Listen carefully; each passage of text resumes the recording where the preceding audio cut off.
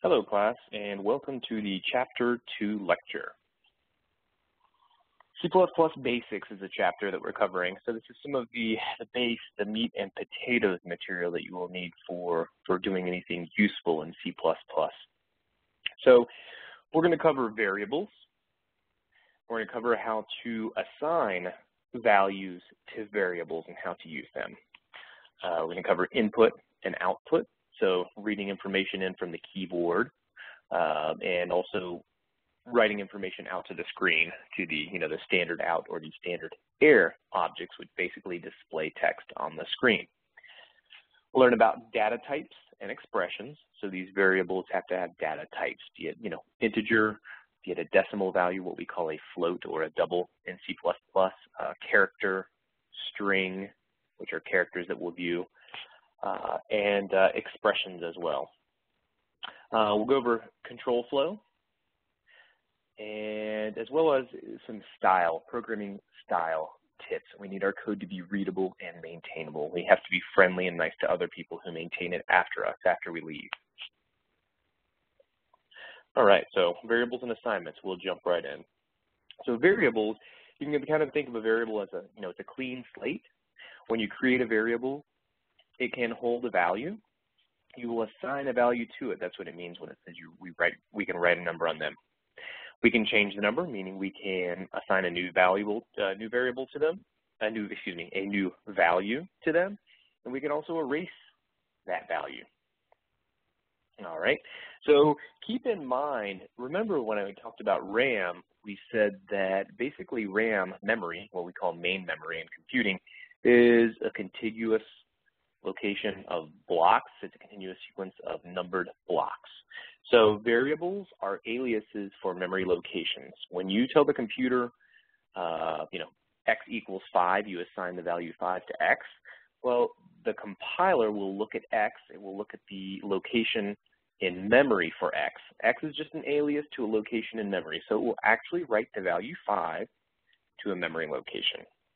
Okay, and so, of course, it stands to reason that since they are aliases for memories, for memory uh, locations, we write values to them, we change values to them, and it stops there. We cannot erase the value in that memory location. So even be it null, let's say the value null, some value is always there. Null is still a value. And we'll learn a bit more about null later. So variable names or identifiers are aliases to, to the uh, to memory location. Now, when we choose variable names, we, we have to be careful. First of all, we want to use something that's self-documenting. Let's say we're calculating, I don't know, interest rates for a bank account. We want to name, if we have a, a variable named interest, which represents the interest rate, we want to call it, uh, you know, we want to call it interest or maybe interest underscore rate or something meaningful that is somewhat self-documenting, uh, something that we will remember, something that people that come in behind us will remember. And you may be surprised you'll code something, if you work for a software company, you'll come back and look at it months or years later and not know what you did and why you did it. So this is why this is important. You want everything to be self-documenting and easy to understand, or at least as much as possible. Now, in C++, first character has to be either a letter or underscore. Now, with the remaining characters, we can include numbers in there, but they cannot start with numbers.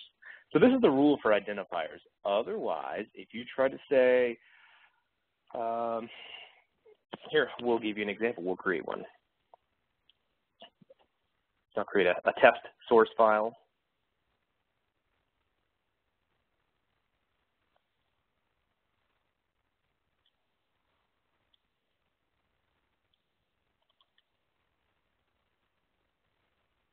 Geez, if I can type, we will anyways. So, int, uh, we'll say my int. Now, what we'll do, we'll say int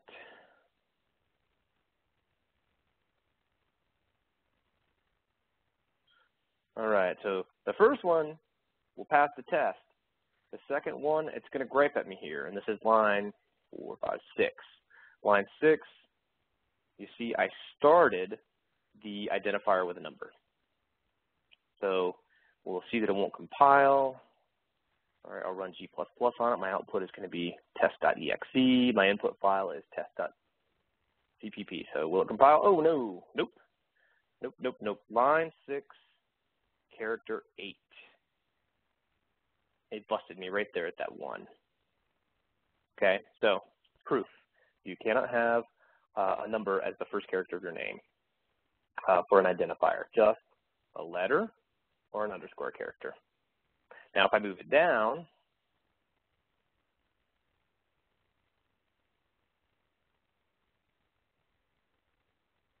there we go. See now, if I underscore underscore one underscore my int, that is syntactically correct. It doesn't make much sense to us. Remember, like I said, and I'll delete this line here. Remember, like I said, we need to create variables with meaningful names. This is not a meaningful identifier. One my int doesn't tell me anything. However, it's syntactically correct. So they should compile.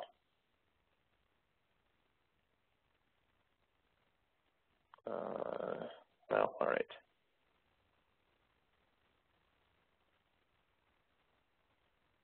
Yes, compiles and it runs without a problem. Keywords. So we have to be careful when coding. There are keywords in C++ that you cannot use for variable names or for any other purpose for that matter. Um, control statements for, if, um, while, do, break, go to.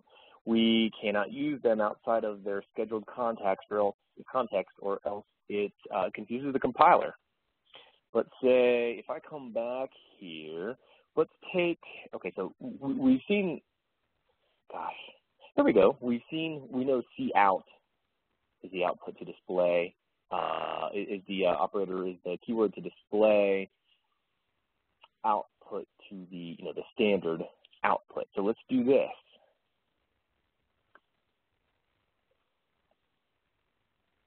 And this is an obvious example.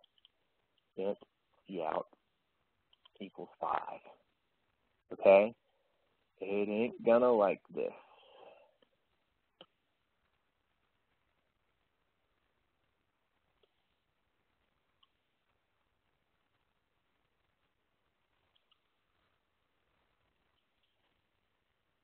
Hmm.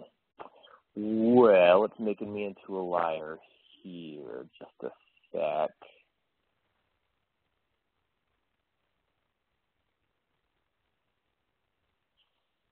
a break. Yeah, see, there we go.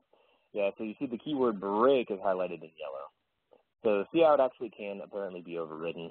Uh, break, however, it will not like because break is used to break out of loops. That's just a keyword. We'll learn more about that uh, in control statements, and that's going to be next chapter. However, just know that break is a keyword.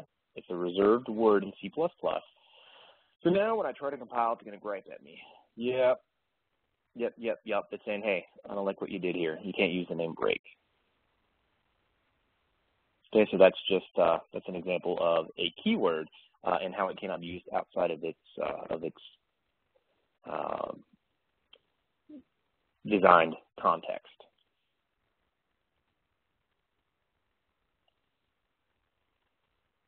Okay, declaring variables. Variable declaration. Before we use a variable, we have to declare it.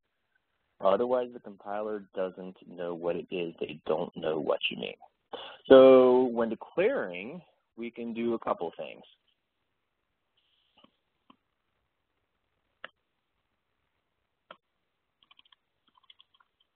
We can declare it and assign a value to it immediately. We can also declare, then the assign value, we can also, we can declare a bunch of them on one line. We can declare a bunch of them on one line and assign them values.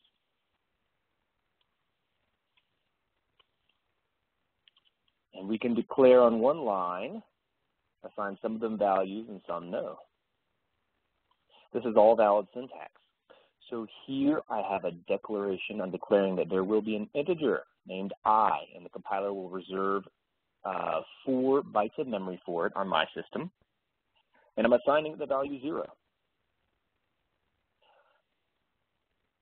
I'm declaring an integer j. Then, and the compiler reserves an area of, of four bytes of memory for this integer. Then I tell the compiler, hey, push zero into the memory location referenced by j. Here I declare two ints, k and l. Okay, the compiler reserves four bytes of memory for each. Doesn't do anything with the with the memory there, but it reserves those four. And here I have two. Notice the the comma. So you can have a list. You can have a declaration list as long as you comma separate them. So I have int n equals zero, n equals one. Okay. So I tell the compiler to four bytes of memory aside for m, four for n, and go ahead and assign 0 and 1 to them respectively. Then here, notice you can mix match, you can mismatch, uh, mix match them rather. You can mix declarations and declaration assignment um, combinations here. Okay, and this will compile. Yep. All right, so just know that you can do all of this. Now, one pitfall maybe is some people will put a semicolon here.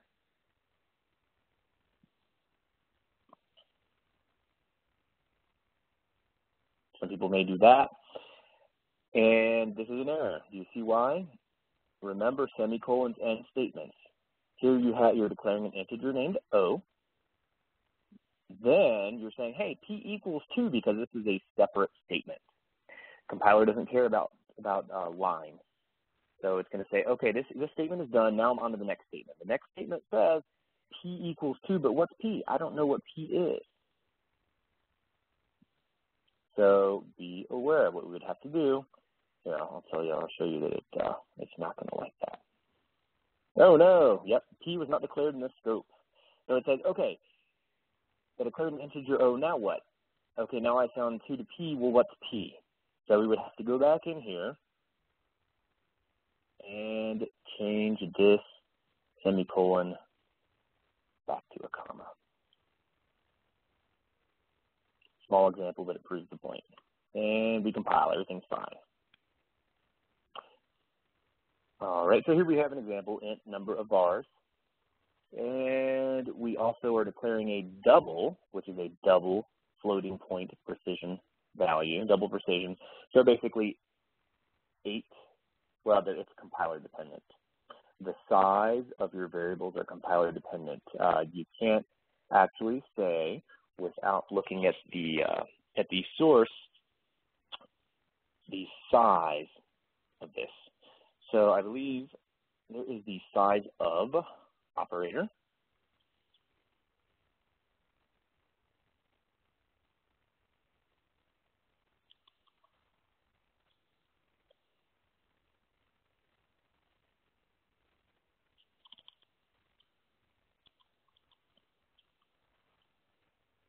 size of, we'll say O. Okay, we see O as an integer. So let's say we want to look, okay, so what's the size of our integer? And what's the size of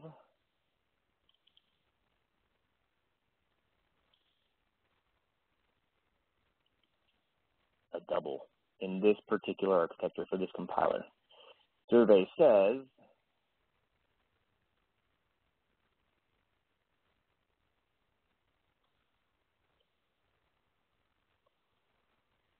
four for the integer and eight for the double. So that means that the compiler has to reserve four bytes for each integer and eight bytes for each double, for each floating point number. All right, so int, of course, means integer. Okay, integers are whole numbers. 1, 2, 3, 4, 5, 6, 7, 8, blah, blah, blah, negative 1, negative 2, negative 3, negative 4, negative 5, blah, blah, blah. Um, yes, here we this is a this is a variable identified as number of bars that isn't integer. And of course, a double is a decimal. It's basically a whole number with a decimal component. So you have some examples 1.34, 4.0, negative 345.6, etc. Uh, and you see that up here the declarations of, of the two doubles uh, are for one weight and total weight are going to be the two identifiers, notice separated by a comma, uh, that are type double. All right, so what we can do, you can declare variables immediately. Variables that you know you will need throughout the program, generally you declare immediately, okay? At the top, at the top of your scope. Then variables uh, that may be used only in, in one portion, let's say inside some obscure loop, some loop way inside your code, you will tend to declare them immediately before you need them. You see here we have the example of a, an integer sum that's used once to total two scores. So you have your ellipses representing code before this, then some code after that, before the return statement in the uh, in the function. So these are kind of your two your two styles here, your two choices. Neither is necessarily correct as long as you declare before you use. Just remember that uh, you know variables we may use throughout this block of code you want to put at the top. So yeah, as we saw, we, we saw, you know, int, int one, int two, etc. You have your you have your variable type, then you have your identifiers and even optionally assignments separated by commas. Terminated, of course, with a semicolon, which is which denotes end of statement. So here you have some examples. We saw some examples I coded to double average, M score, total score. Uh, we have a single double here, mean distance. We have two ints, age, number of students. We have a single int here, cars waiting. By the way, there are 99 slides here, so we're we're moving along here. I don't want to bore you with a, a two, two and a half hour lecture. And these are simple enough concepts that uh, simple examples give the give the idea here. So now we can assign values to these variables. So when we assign the variable, the, or the thing that we're assigning to the assignee is on the left side of the statement, and the value to be assigned is on the right-hand side. So what this statement tells the compiler to do is, okay, add one weight, add the value from one weight to the value from number of bars push that resulting value into total weight. For clarity, yeah, you could even think of it as within parentheses, one weight plus number of bars, right? Because parentheses kind of show you that we're forcing the evaluation in this particular order. Assignments end with semicolon. All statements in C++ end, end, end with semicolons. You don't put semicolons after loop. There are a couple of, of places that you don't put semicolons. However, all statements end in semicolons in C++.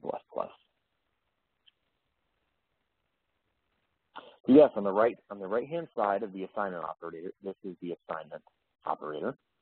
Uh, we can have constants. You see, we can have just plain constant written down, a number or a character, whatever, depending. You can also have variables, as we see. This works. Uh, and we can also have expressions. We can have, uh, you see up here, expressions, two variables added. You can have, here we have the example of a variable multiplied by a constant. Any of these are legitimate. Now, warning, you do not compare with the equals operator. This is the assignment operator. This is saying add 3 to the variable number of bars and assign the resulting value to number of bars. So this increments number of bars by 3. Okay, this is not a comparison.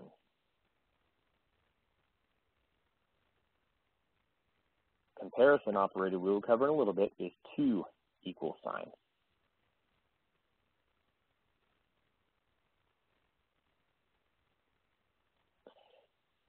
All right. Now, when you declare a variable, I, I, don't agree with this here. What this tells you is declaring a variable does not give it a value. Well, I, I don't really agree with that. You don't know what value's in there. It doesn't assign a value. However, you don't necessarily know what value is in there. Check this out.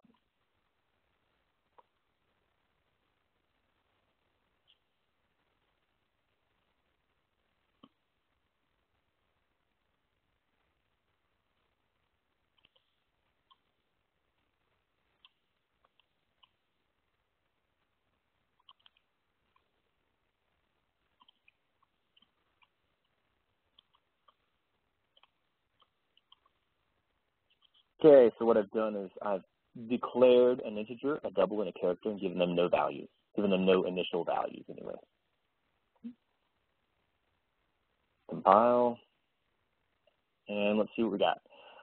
All right, so we got zero. Oh, you know, here, let me go back in here so we can see a good separation. Uh, of these variables.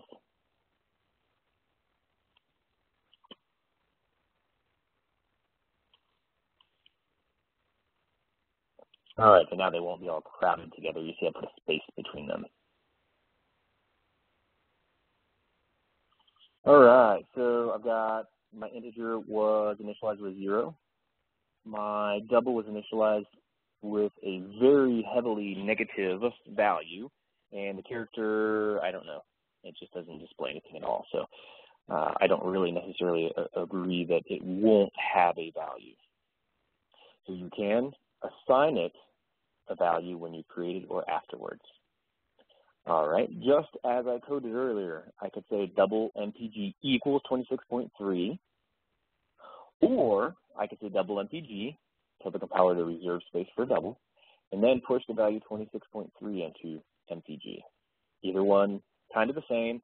Uh, if you can, I prefer assigning them at creation time because I'm, I'm a fan of code brevity. We don't want a, a thousand line program where 300 lines might work. However, don't sacrifice readability for brevity. Okay, if it makes the code unreadable, then go ahead and do longer version. All right. So yeah, this is basically the same thing here. Uh, this is more unusual. I don't see this much. Uh, usually you'll see an explicit assignment, such as this, and not this here. You usually don't see the parentheses. At least I don't too much. All right. So the conclusion, uh, declare and initialize two ints to zero, then declare two variables, one int and one double, and uh, initialize both to five. So I'm going to leave this as an exercise to you. You can do this uh, based on what we just saw. Good variable names for identifiers to store. Just remember, variable names can only start with a letter or an underscore. Then after that, you can include numbers. However, uh, you cannot have any any character in there that is not an underscore, a letter, or a number anywhere in the variable. Okay.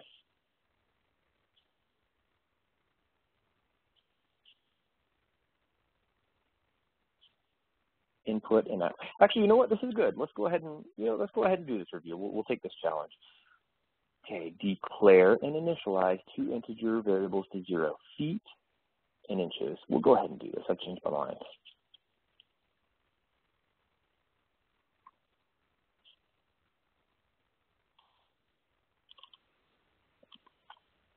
All right, we can do this a few ways. We can say feet equals zero, inches equals zero.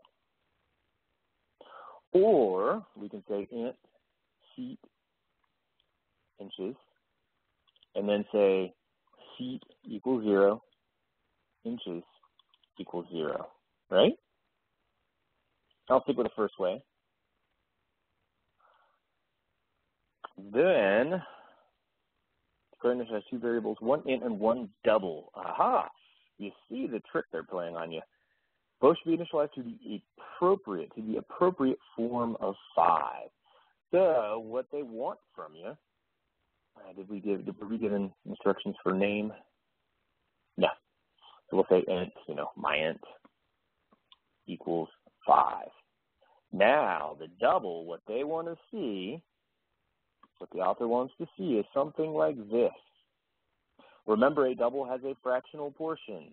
So they wanted to make sure that you understood that a double has a decimal part. And give good variable names for identifiers to store the speed of an automobile. We'll code this in here too, just for fun. The speed of an automobile, an hourly pay rate. Okay. And we usually measure uh, speed in miles per hour, right? There we go. An hourly pay rate. Uh, that's going to be a floating point value. So what can we name that? What would be good and identifiable?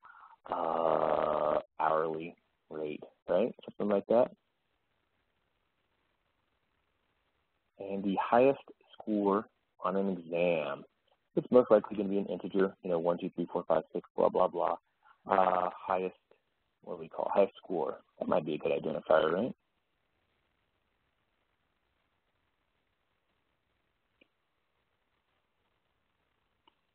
And uh-oh, injuries were not declared in this scope. Ah, you see, I did my own, I, I, I, uh, I was victim of my own pitfall there because I told you not to do this. So in this case, do as I say, not as I do. Int seat. What did I do here? That's right. I put a semicolon instead of a comma. There you go.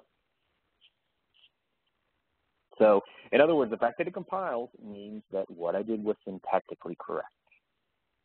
Syntax is okay. Okay, I/O. All right, data streams. So we have input and output streams. Input, of course, are read in from, say, the keyboard or maybe from a file in later chapters, I think chapter 6. Output can go to the screen, printer. Okay, it's typically in the form of characters or numbers. That much is intuitive. Uh, input stream, yeah, to a program, you'll you'll generally get uh, you can generally get keyboard or file input. We can type entries in, or we can read entries in from say a file. Okay, output generally goes to a monitor, or you can redirect output to a file. Uh, you know, so this argument could be made that you know a printer would be output as well. C out. Now, C out is the output stream. Okay, that's your standard output stream. So you'll see C out followed by the insertion operator, followed by the stuff that we want to output to the output stream.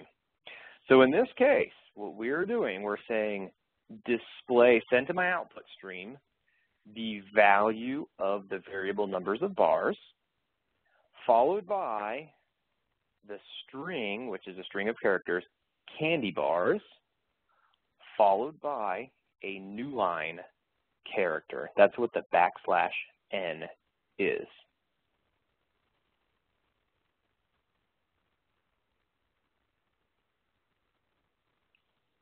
So let's check this out.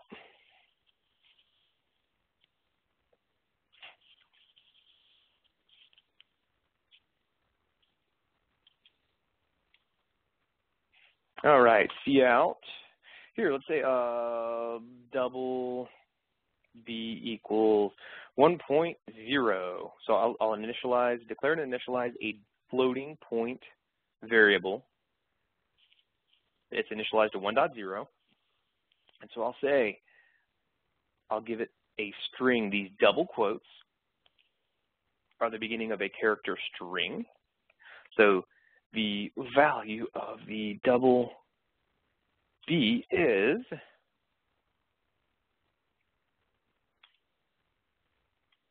Now, between each object that I want to send to the output stream, I need to tell it again, hey, go ahead and redirect this to the output stream as well. So you see what I've done here. Send to the output stream. The value of double B is followed by the value of b. And I've made a little tiny mistake here on purpose to show you.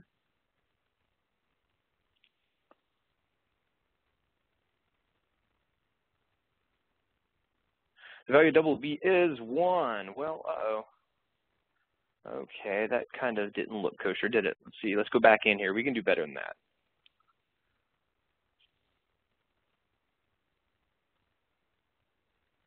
And I'll follow it by the end line. So I can do it one of two ways. I can I can output explicitly an end line to the output stream, or I can output, as I said, the new line character. Same thing. Okay. So that should improve our display a little bit. We saw junk ran together there. So let's try this one more time. The output of the double B is one. Hmm, well, we can do even better than this. You see we ran is and one together. And I did that on purpose because this is a very common mistake as well. I make it all the time myself still.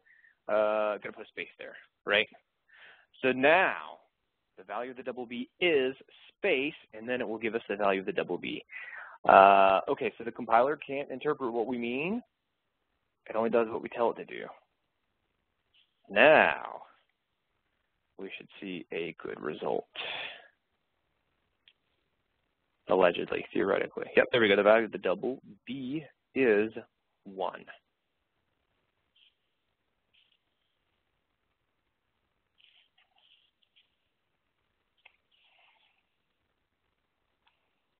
And the compiler doesn't really care about white space, doesn't care about line breaks, doesn't care about spaces as long as they're not spaces within a string.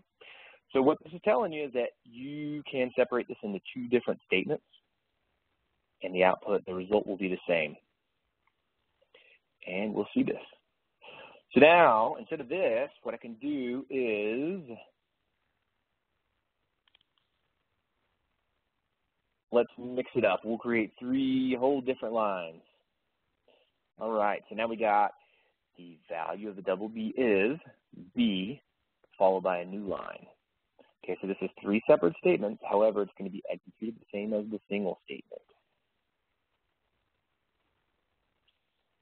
Yep. So just keep in mind the compiler doesn't care, it ignores white space. Okay. Uh, number one, it ignores white space, and number two, it doesn't care uh, that these are repeated cout statements because this is the same as saying this, right?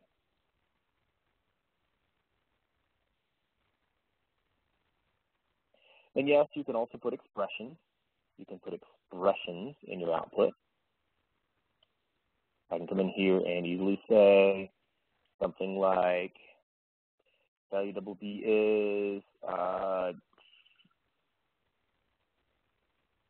uh, 8 plus 6. Since I have not surrounded 8 plus 6 in double quotes, it will not print out 8 plus 6. What will it print out?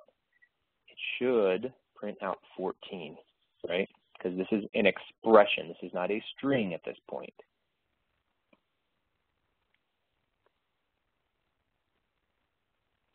There we go. Value of the double V is 14.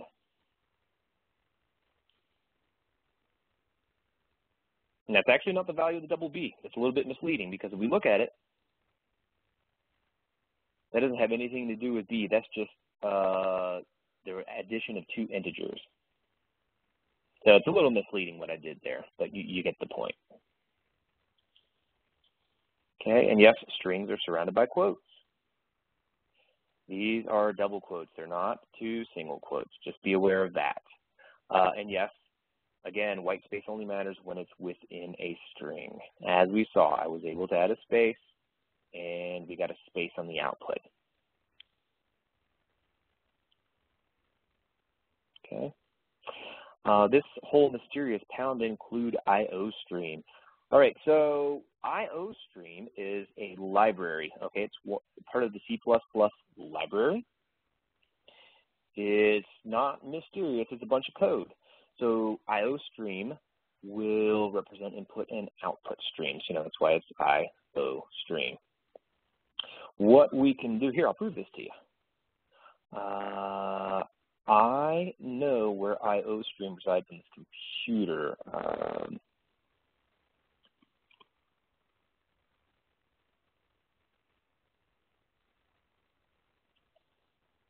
4.8 here. Yeah.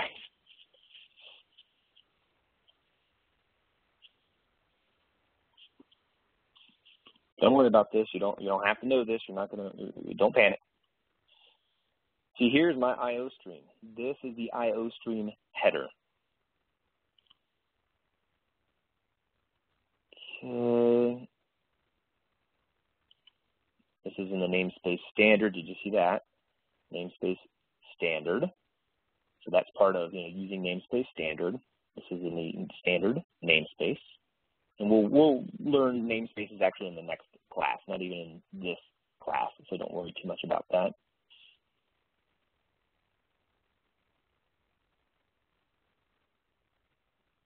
There we go. There we are. cin, out.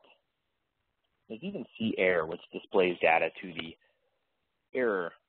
It's a standard error, which is just an alias for standard output for us, and also to a log.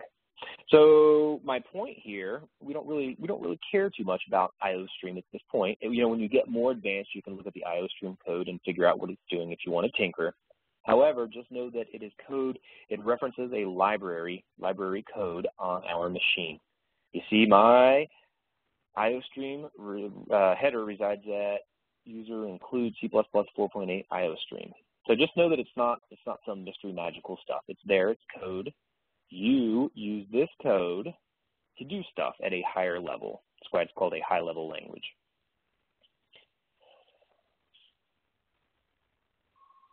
And yes, that's why using namespace standard is necessary. We saw that it relied on the standard, it was inside the standard namespace. It just basically gives a scope for our code. All right, so backslash is the escape character. Check this out. We already saw the backslash n We'll put a new line on the screen. Now, there are a few of them. We could do a, a, a backslash tab. We can do backslash T for a tab character. Uh, we can, what else can we do? Uh, aha, backslash backslash will print a backslash on the screen. Backslash quote, double quote, will print a double quote on the screen. Backslash single quote will print a single quote on the screen. Now think about this. Okay, so we need a provision within a string to be able to include a new line, just for convenience sake. That's what this n is, new line. Now, hey, if strings are defined, if they're started and ended by double, single, uh, excuse me, double quotes, how the heck are we going to print a double quote inside of a string? Okay, we have our escape character. It escapes outside of the normal string constraints and will allow you to print a double quote. So anything that follows this backslash character is going to be treated in a special way via the escape sequence. So this is a way to print a double quote. This is a way to print a backslash. Remember, the backslash is the escape character, and so we need a provision to print a backslash sometimes. Let's say we want to print a file path for Windows. Well, we'll need to use two backslashes. Backslash backslash will actually print one backslash. Backslash T is tab for tab stop. Uh, what else do they have here? Yeah, they don't they don't really cover a whole lot else, but these are these are some common ones. So what we can do, we'll expect to see the value of double B is, and I'll come down here so we don't confuse ourselves further, and say, hey, it's B. All right. Then we should expect to see a tab space followed by a backslash, followed by a double quote, followed by a single quote, and then a new line.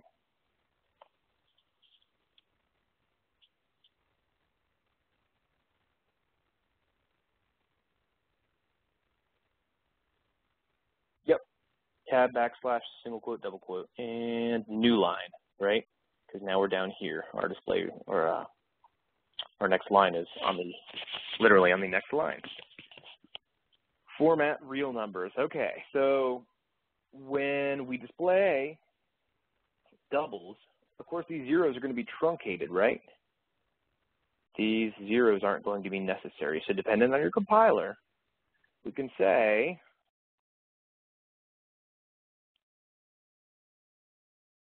Here, we'll just delete this garbage.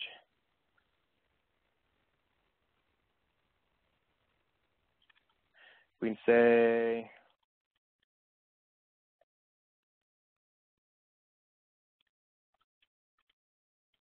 we shouldn't expect the compiler to tell us 5.0000000. I seriously doubt that that's going to be the output here.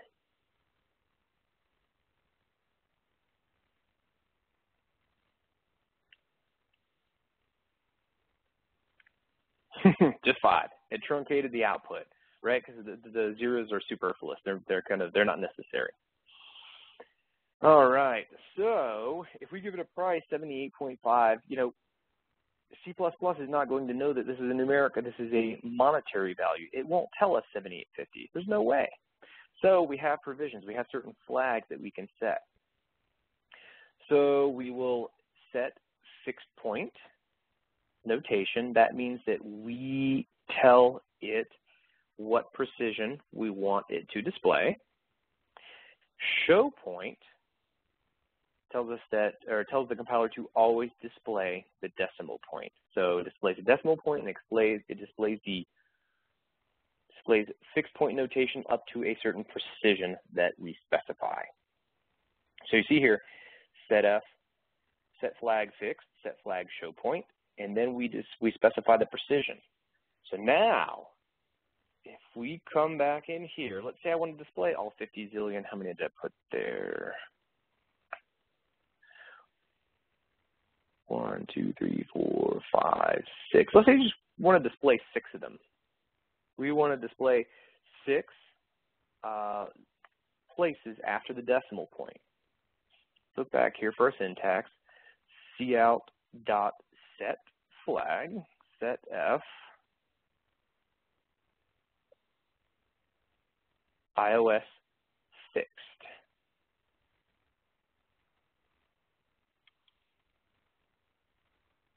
Then we have set flag ios show point.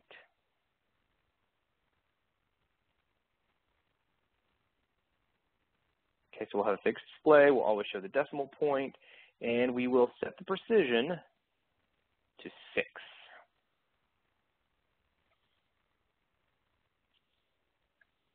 Then, when we display this B, I would expect to see 5.0000000 now that we set these flags in precision. Standard has no, uh oh, what did I do here? Oh, C out that precision, excuse me. I knew that too.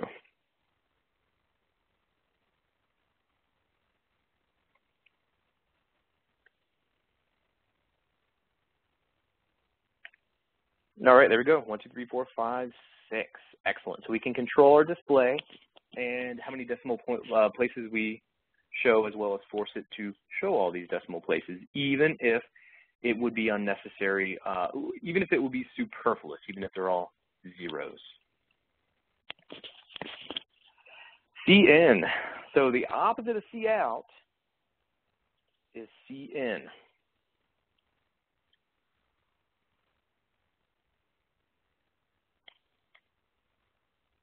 All right. So we know that C out displays uh, characters and numbers to the to the screen, right? So far. Now cin will display, will excuse me, will accept data from standard input, the keyboard. So what we can do is something like this. Let's say we want, now we're getting interesting. See, now we're, we're getting into interesting territory because we can prompt the user for stuff and we can calculate, uh, we can do whatever we want with that stuff, manipulate it, and send it back to the user. So here's an example. Let's say we want to, simplest example, we'll take two numbers and add them. So we want to prompt our user, uh, let's say enter the first number,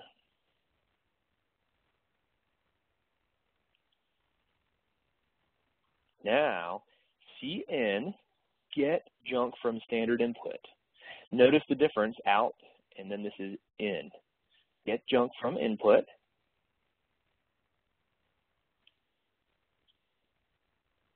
I'm getting ahead of myself here. So we'll say, we'll declare two integers first and second, and these are the integers that are, integers that are going to be added. So we prompt the user for the first integer. I'll accept it in from the keyboard. Then we'll say, okay, please give me the second integer.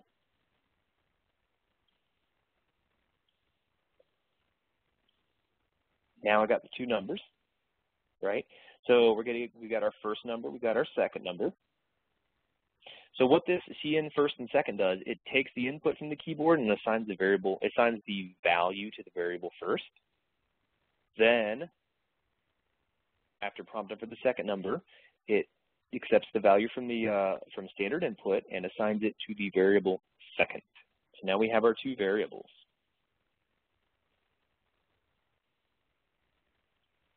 The result. Oh, you know what? Actually, here, you see what I'm doing here. Hold, hold on here. This will be this will be interesting. I'll leave that pitfall for us to over. The result is first plus second. And new line. All right, so we'll compile. Got to compile every time. Or else we'll be running an old version of the program. Enter the first number, 5. Enter the second number, 3. The result is 8. Good.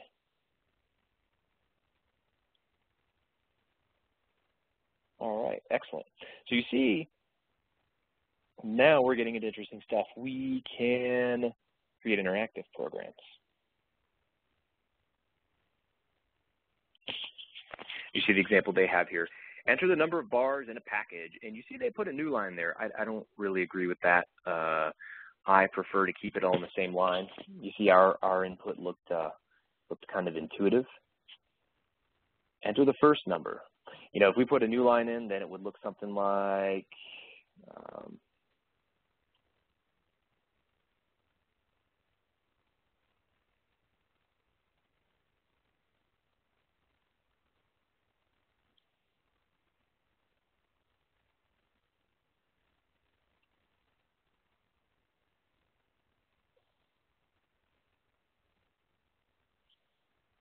Yeah, eh, you know, I, I don't like that as much. It doesn't it doesn't look as as intuitive.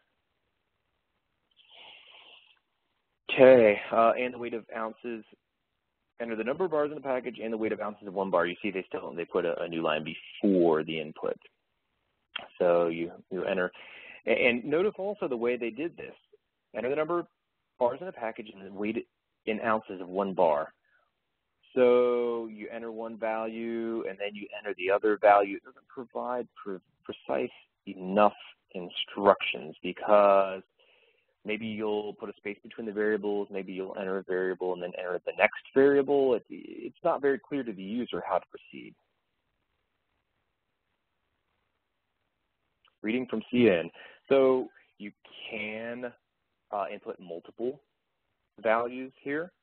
So what we can do, we can revise enter the first number. We'll do something like this.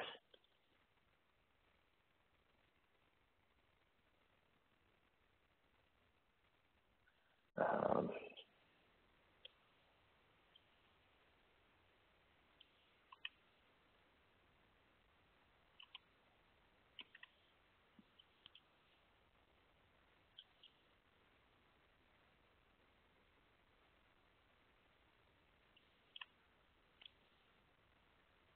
All right, so we can do something like this. You know, we'll tell the user enter the first number followed by space in the second number because the compiler will, uh, when it receives the input, it will uh, use the white space as, as uh, separators between the, the input and between the variables that you're inputting. So cin first and second. See, I can kind of chain these as well. It's not exactly chaining, but uh, you get the idea. cin first, followed by second. And compile to make sure our latest version of the executable. And the first number followed by space and second number, 5 and 4. Result is 9, yep. So just know that. And see, they have 3, you can have four, five, six, however many you want. Although, again, it's not very good style. All right, and we did prompt, we saw an example of prompting followed by input. And see, notice the absence of a new line before using cin. That's good style, better style.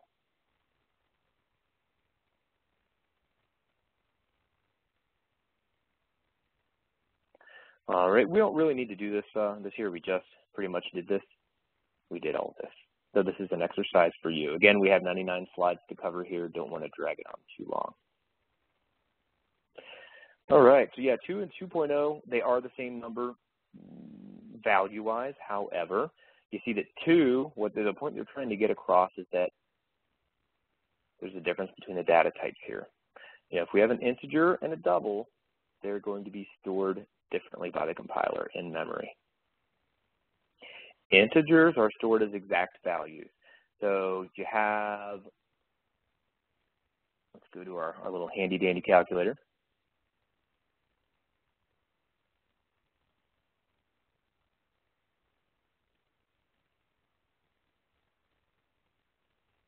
Say we have 300.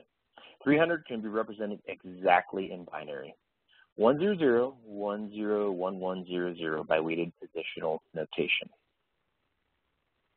Now, floating points are more difficult to represent in binary.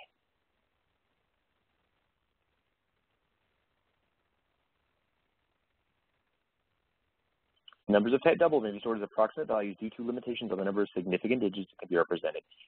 Okay, yes, you can also get, you can get rounding problems. You can get approximations. You can't directly compare two floating point numbers for this reason. And I think this is something covered in later chapters. However, uh, just be aware that two decimal point numbers may not be exactly equal. in fact, let's see if we can, uh, see if I can give you an example. And this is because numbers are stored as ones and zeros in computer memory.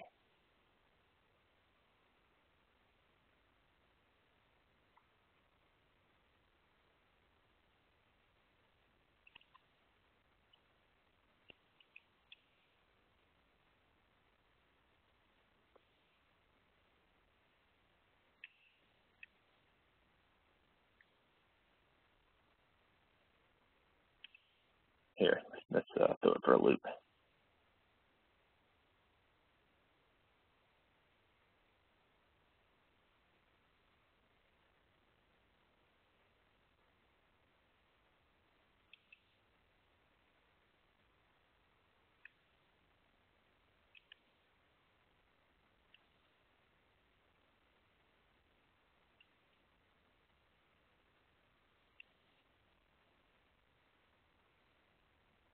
Okay, so you see what happened here. Let me uh, let me go back in here.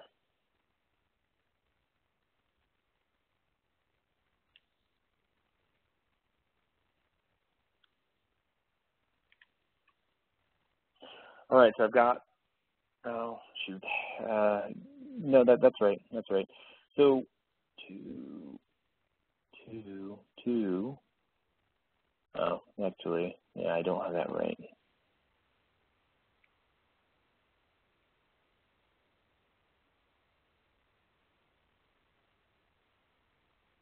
Uh, okay, actually, we, we, didn't lose any precision there. Uh, basically, what I'm trying, the point I'm trying to get across, and you may just have to take my my word for this here, is that we, when we perform operations on on uh, floating point numbers, because we store decimals as ones and zeros in binary, we can lose precision uh, at the end of the decimal. So this means that we can be missing a tiny one after we perform some operations on it, uh, and two values may not be equal. Therefore, we cannot compare two floating point numbers directly, and that's the implication that this has. Numbers of type double may be stored as approximate values due to limitations on the number of significant digits that can be represented. Depends. Uh, yeah, it depends on the operations that you're performing with the floating point numbers in the architecture.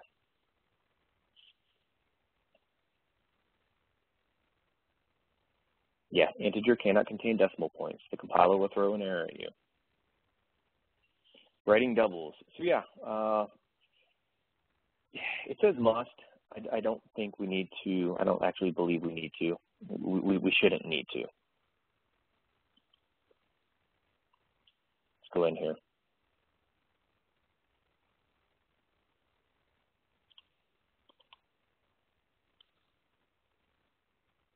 It should still compile, even though I don't have a, uh, a decimal. Yep, see, no problem. So that that's not true. It's not that it must. It's not a syntax error if you don't include a decimal point. Floating point notation. E means exponent, right? Exponential notation. So, oh, sorry, just a moment. Apparently I'm running low on battery here. Find another plug.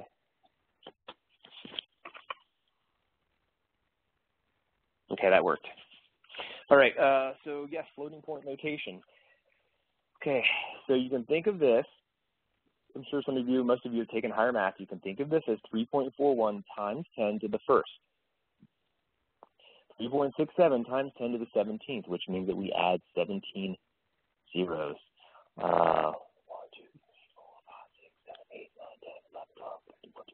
16, 17. Yep. 5.89 to the negative 6 means we subtract. We'll, we'll, take, we'll move the decimal point six places to the left. So we should have 1 and then 6 minus 1, we should have five zeros to the left of this 5. 1, 2, 3, 4, 5. Yes, before the decimal point. Okay, so this is scientific notation.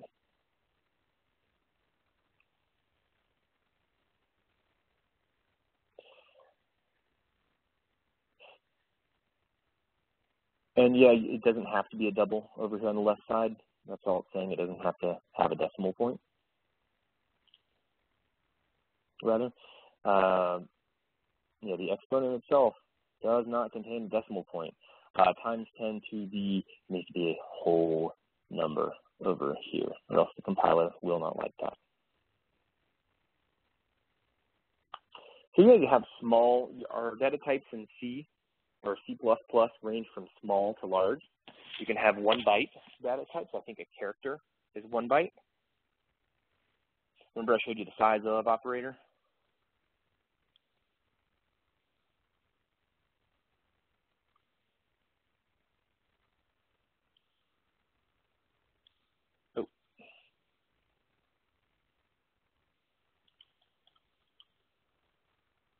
So we'll, we'll look at them from small to large, just a few of them. We'll say, hey, character uh, followed by size of an integer followed by size of a double.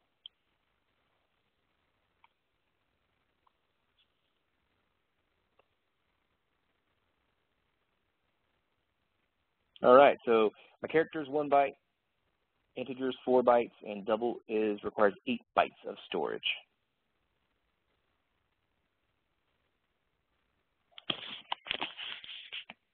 And this much is intuitive. If we, if it, if it has a wider range of values that it may store, then it's going to be a larger, it's going to require a larger amount of storage. That particular data type is. So here you go. Int, yeah, it's often four bytes. As I said, it's compiler dependent. You can't tell for sure unless you use the size of operator, or you can look at the uh, you can look at the code inside the compiler to see uh, how large these variables are. Short, Well, I know will depend on your on your uh, architecture as well. So a short is a short int. Usually two bytes. I believe it's I believe it's two bytes on my system. We could we could check it. You know how to check that size of short. Okay, so we oh that's true. Uh, we have floats four bytes. We have doubles double eight bytes, and we also have long doubles, which can store even bigger values. Uh, usually 10 bytes. I believe it is 10 bytes on mine, if I'm not mistaken. We'll check it here.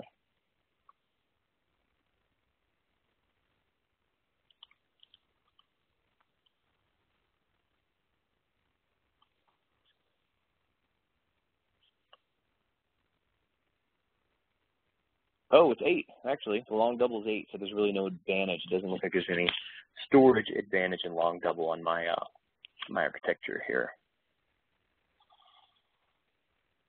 Okay, so as far as character, care, of course, is the value you saw. Uh, there's a little mnemonic for it. If we look at my code here, yeah, size of char. Or you'll hear you'll hear really even very experienced advanced developers refer to it as char. So call it char if you want. That's perfectly fine too. Constants. So character constant is just a single letter. You denote, you enclose characters in single quotes. Okay? If you only have one character value, you enclose it in a single quote.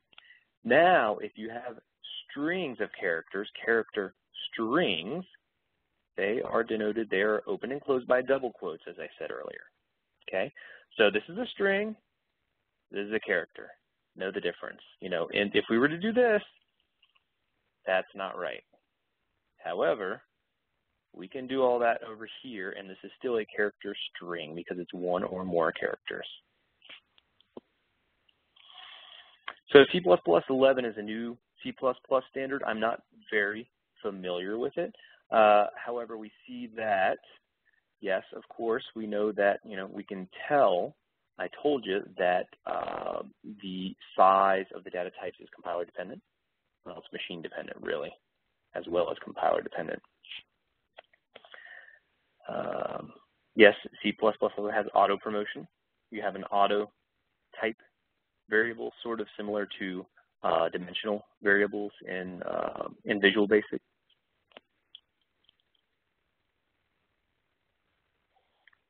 We saw this. Uh, skips blanks and lines. Um, cin will look for white space and it will assume that that's the break between your two inputs.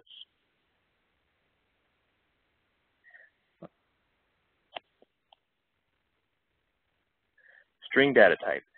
So we can actually declare strings, but look at this. We've seen, we've used strings so far here. I'll go ahead and delete this line.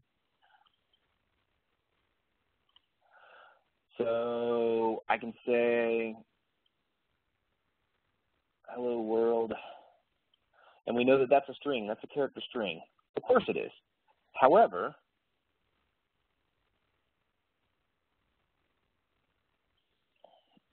if I do this, that ain't right.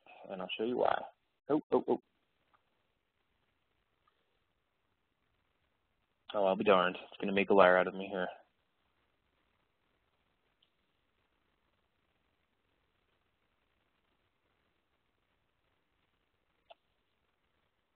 Let me try this.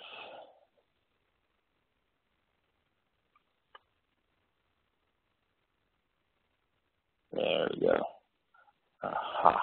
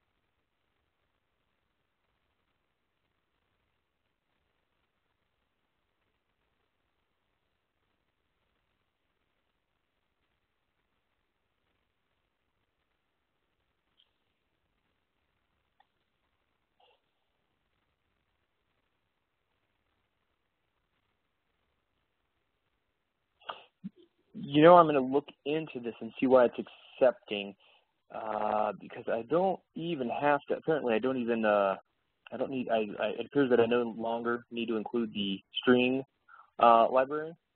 I don't need to include this. Uh, I don't need to put the include statement there for some reason.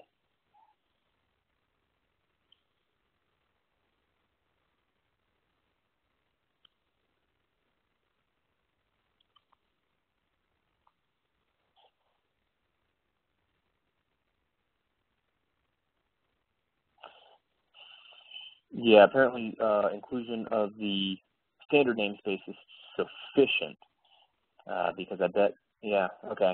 So never mind. Uh, never mind that. We'll just we'll, we'll skip that. That's not a problem. Now, some of the operations on string may necessitate inclusion of the uh, of the string. Uh, it may it may necessitate inclusion of string. So uh, just uh, never mind this for right now. In other words, but we see that we can declare a string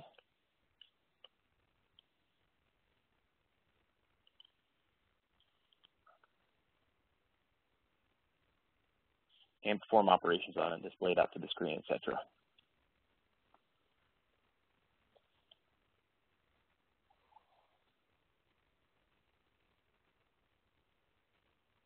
Yep. Hello world, hello world. That's what I would expect.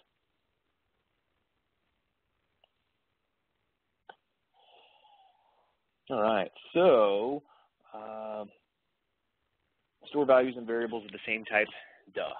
Now, th there are some exceptions here.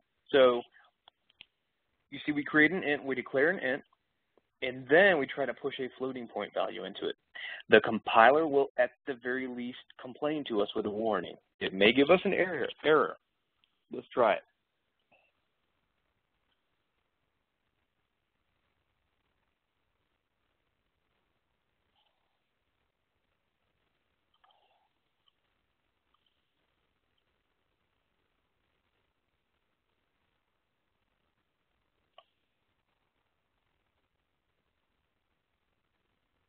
Didn't grep at us at all, in fact. Let's see. Okay, so the compiler didn't didn't grep at us. Now, what it did do, though, behind the scenes, it truncated this value to 2. It took off, it just whacked off the decimal portion. And we'll see that this is true.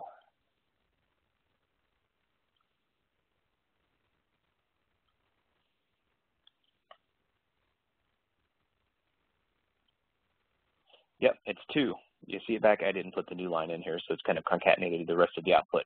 But you see it, it's two. Be aware. Don't shoot yourself in the foot by doing that, okay? This would need to be a double if you wanted to store 2.99.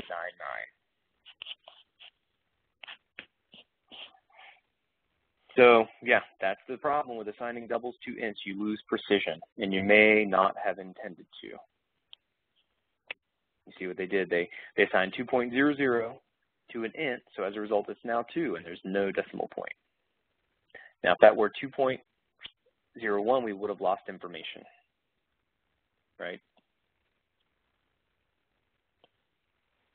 All right, so yeah, ints can be stored in doubles. That's fine. You won't lose precision. The double will add, kind of add the decimal point on for you, but you will not lose precision if you store an int in a double.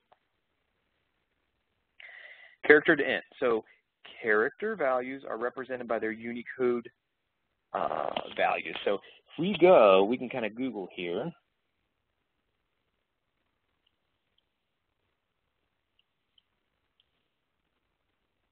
Unicode character table. So each Unicode character, Unicode is, is uh, an encoding format here, uh, encoding scheme, 65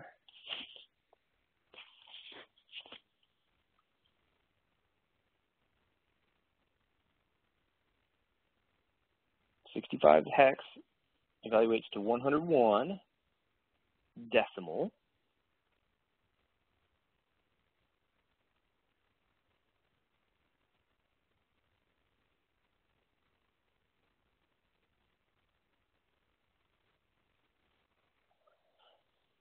No, I'm sorry. I did that backwards, didn't I?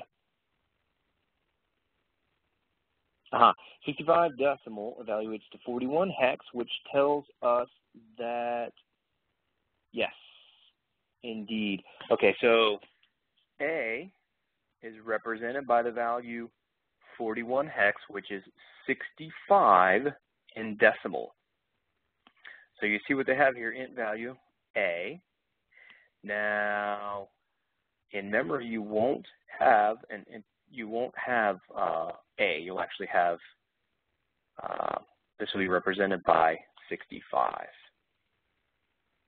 Okay, and you can assign the values directly to characters. If you assign 65 to a character, it says, okay, value 65 corresponds to uppercase A.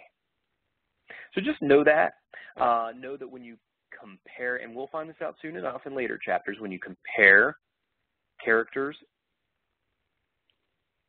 and strings, it will compare their Unicode integer values, and it won't, it doesn't care about alphabetical.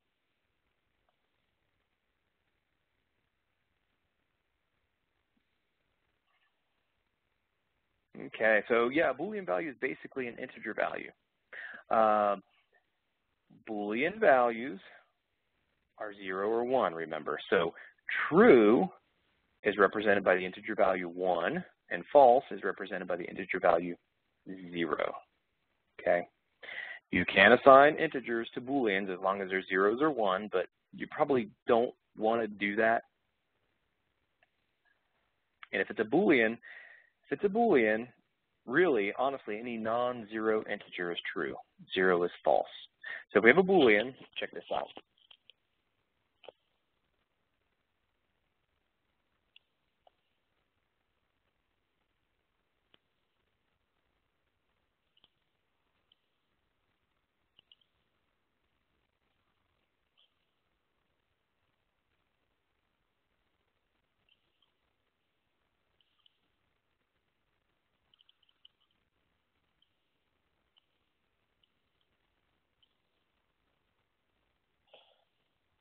All right, so I've assigned the value 5 to a Boolean.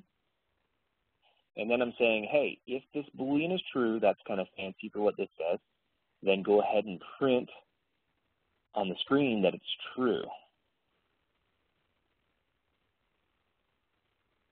Yep, B is true.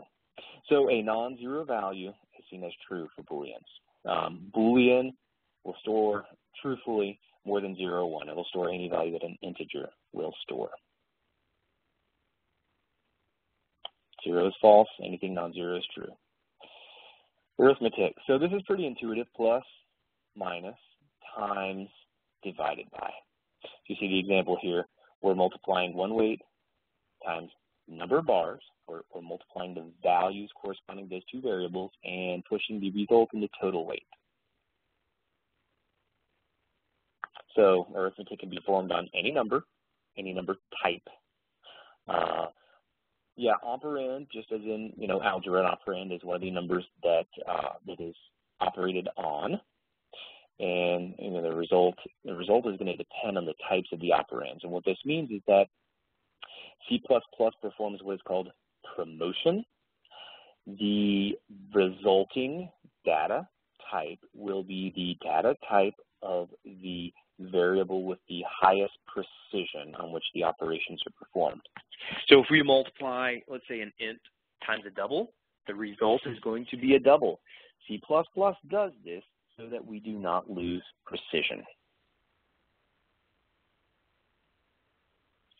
So you see here they have an example. Um, what we're doing is we're taking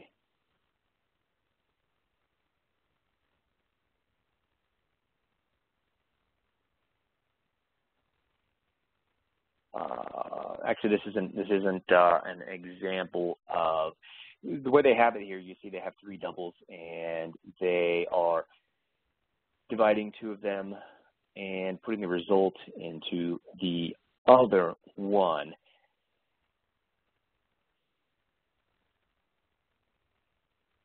However, I want to show you something. We'll look at uh, an example of promotion here.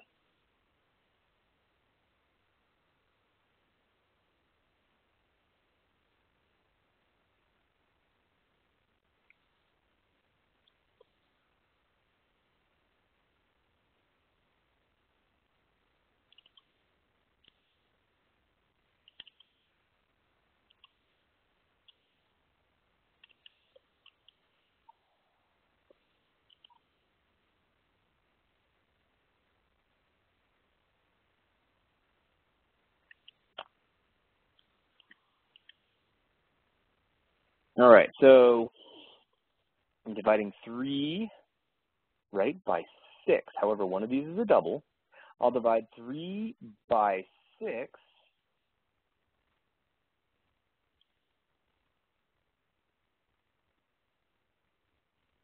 Divide 3 by 6, and I'll output the result on the screen. Now, since one of these is a double, we should see promotion. Therefore, I would expect the result to be 3 divided by 6 is 0.5. And also what I'll do immediately after that, I'll divide 3 by 6 integer-wise. I would expect, since these are both integers, I would expect the result to be an integer. Therefore, 0.5 truncated is 0. So I would expect to see 0.5 followed by 0. Let's see if I'm correct. L. Oh.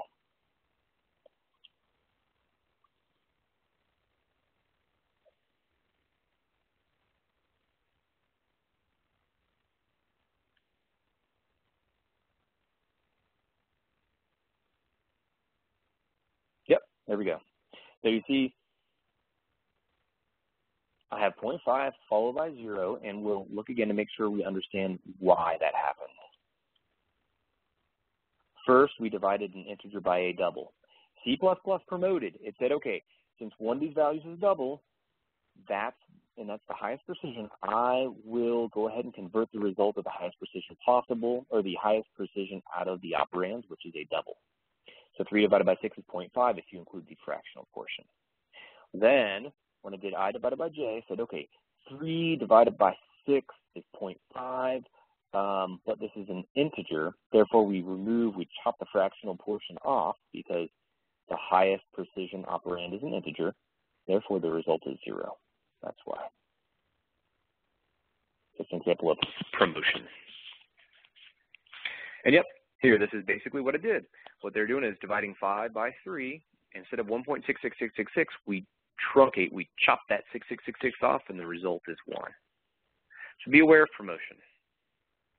Okay, don't expect to get a data type that's more precise than the most precise of your operands.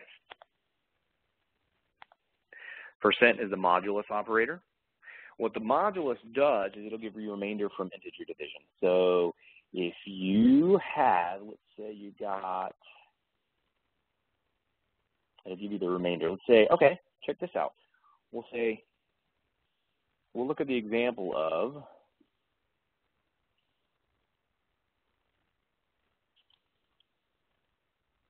103. Let's do it this way. 100 divided by 3 is 33.333. Let me see. Uh, yeah, yeah, yeah. Uh-huh. However, so what we'll do, we'll say how many times will 3 go into 100? 3 will go into 133, and then we have a remainder of 1 right? Because 3 times 33 is 9, no, excuse me, 99, plus 1 is 100. So this part, our remainder, is what we're looking for with modulus division. So, therefore, 100 modulus 3 should be 1. Do you get that? 3 goes into 133 times.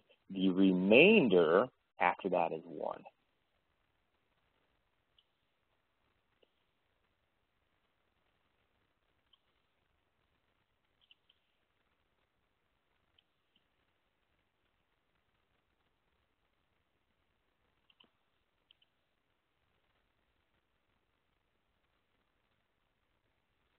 Yep, oh, darn, I keep doing that. Anyways, you see, yes, that's the modulus. Our remainder is 1. Modulus is very good for knowing whether a value is even or odd. You know, percent 2 would give us 0. Percent 3, oh, hold on, let's see here. Any number percent 2 will tell us whether it's even or odd. For example, 99% 2 will give us a, a leftover 1, which means it's odd. 98% 2 would give us a leftover 0, which would tell us that it's even. and you can see that this pattern would repeat. That's one example. You can also use it for calendars. Uh, the, the modulus is actually very, very incredibly useful, even though it may not seem like it right now. We'll perform some uh, some operations with this later. Yeah, uh, pay attention to your spacing. Make code easy to read, self-documenting, easy on the eyes. Precedence rules. All right. So remember that uh, that catchy saying, PEMDAS, please excuse my dear Aunt Sally. Parentheses, exponents, multiplication, division, addition, and subtraction. Right? Those are the the the uh, that's uh, the order of precedence. Before that, in the programming world, comes the unary expressions, such as the Boolean not. Uh, we'll see examples of this in a bit. Just know that you know PEMDAS and then the uh, unary operators are before that. And there's a chart in the book as well. So we can use parentheses to force order of operations. Uh, without parentheses, we go from left to right. We would add x and y. Then we would multiply the result. Uh, excuse me, I'm sorry about that. Sorry. I broke my own rule, PEMDAS, right? So we don't have parentheses here, we don't have exponents here, we have multiplication here. y times z. So we would multiply y and z, and then we would add x. Here, PEMDAS, notice we have our parentheses. So we add x and y, then we multiply the result by z. This, these are two different operations. Shorthand. So instead of saying, you know, count equals count plus 2 gets a little bit repetitive. Programmers are lazy. What we can do is say plus equals. That's a way of incrementing this amount to this variable. So we don't have to repetitively yeah, type the variable name. Plus equals. Okay, plus equals. It also works, you know, minus equals, times equals, divided by equals. It's all the same. Check it out. We'll do a real quick example.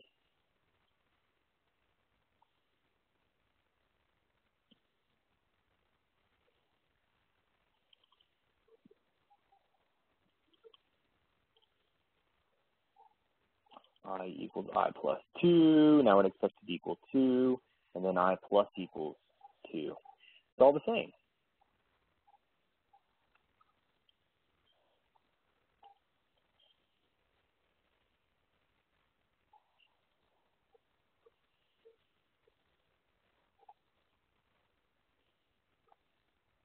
Oh, sorry. Uh, actually, that's not going to work here.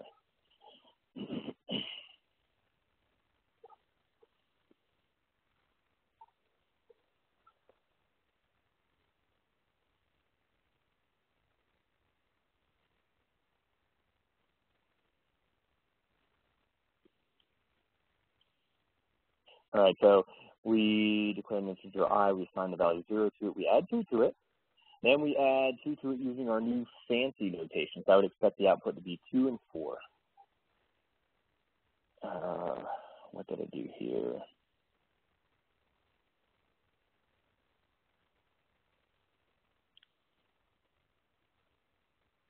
Yep, 2 and 4.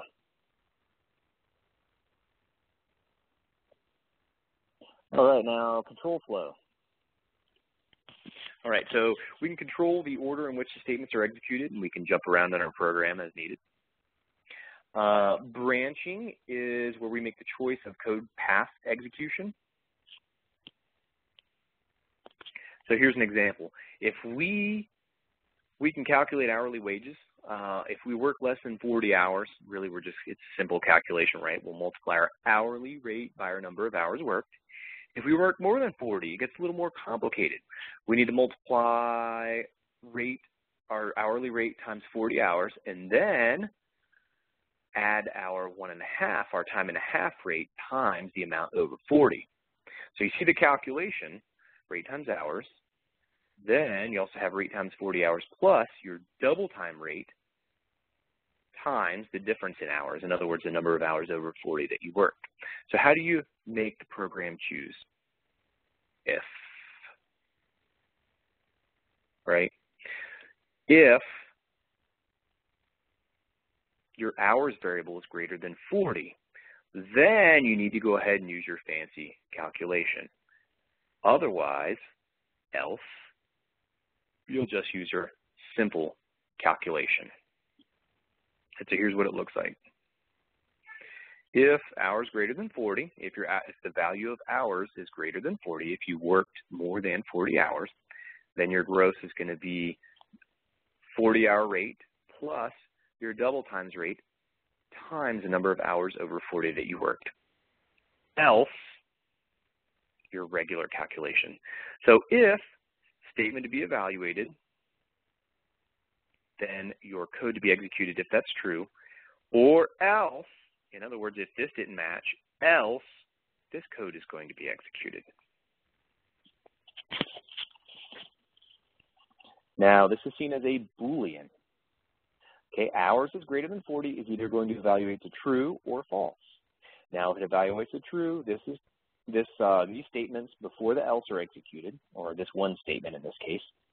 If it's false, then we execute the else block. In other words, just this one statement here. However, there can be multiple statements there. Okay, so we can we can say greater than, greater than or equal to, not equal to, equal to, remember that's equal and not assignment, less than, less than equal to. Yep. So as I said, if, then if it's if this is true, if this evaluates as true, we will uh, execute everything before the else statement, if there is one. If not true, we'll execute everything in the else block. Now, the brackets are particularly useful when we have more than one statement that we want to execute. Matter of fact, if we have more than one statement we want to execute, they have to be in brackets. After the if for the true portion, then after the else for the false portion. And a little note, I like to do this. I, I do this myself. I don't put the uh, the bracket on new line, but um, it's recommended both in the Java and C++ standards. So just go ahead and get a, make a habit of doing that unless you're, you're already programming more comfortable with uh, my style.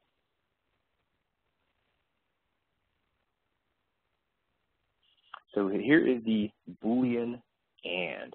So this is how we combine two statements, two uh, Boolean statements. So if I want to say if we've worked more than 40 hours and if, um, oh gosh, if it's 2015, let's say, let's say I want to test for those two conditions.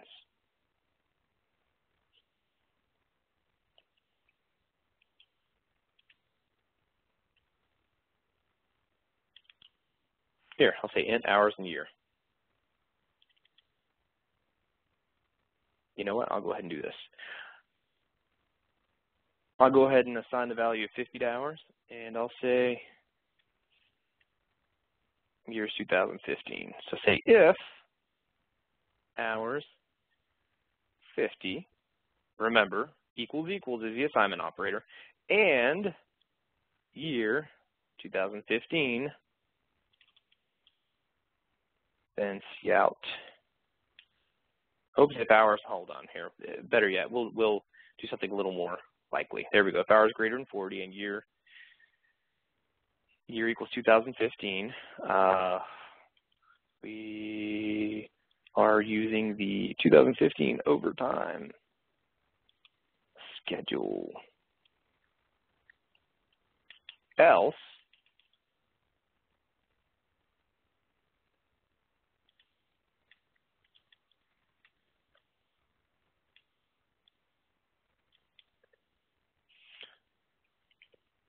So you see what I did here?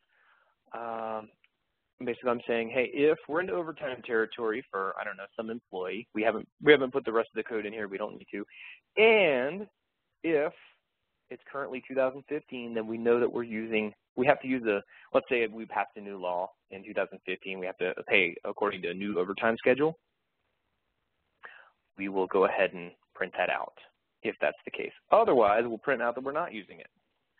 So my hours are 50, my year is 2015, so I would expect this to be true. So I would expect to see we are using the 2015 overtime schedule here. Uh, oh, you see what it did?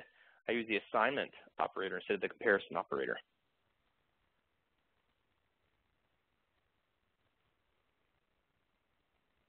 There we go. That'll take care of that.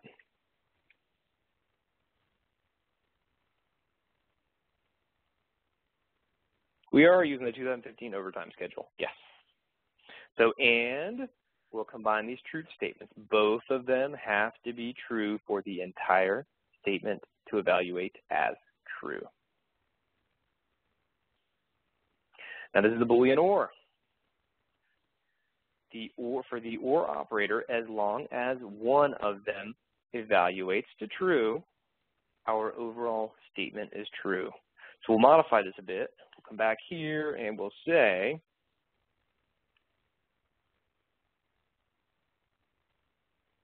or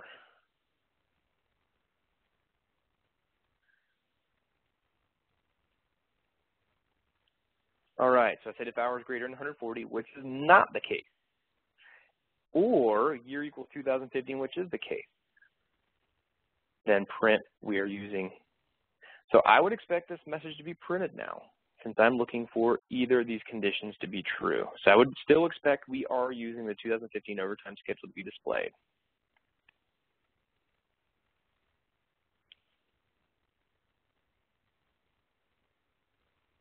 Yes.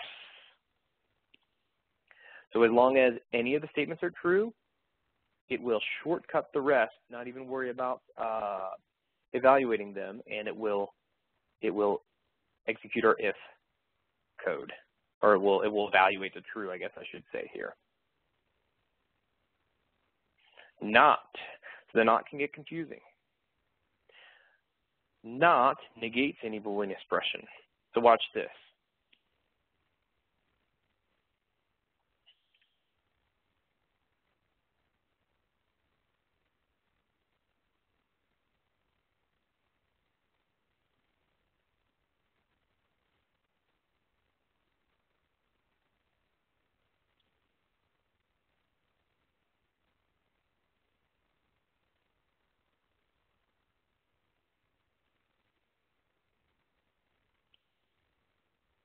Let me clean this up a little bit. I don't want to confuse you.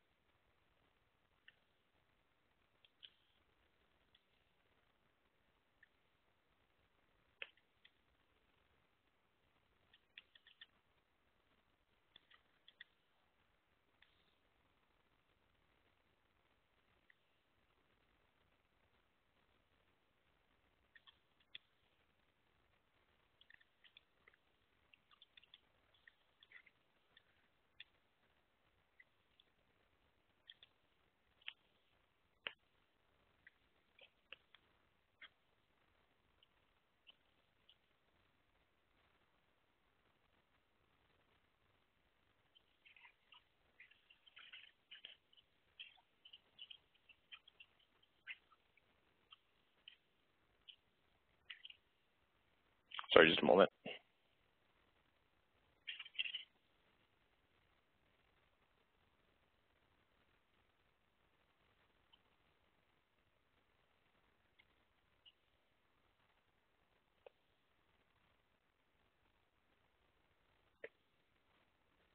Actually, an easier way of showing you here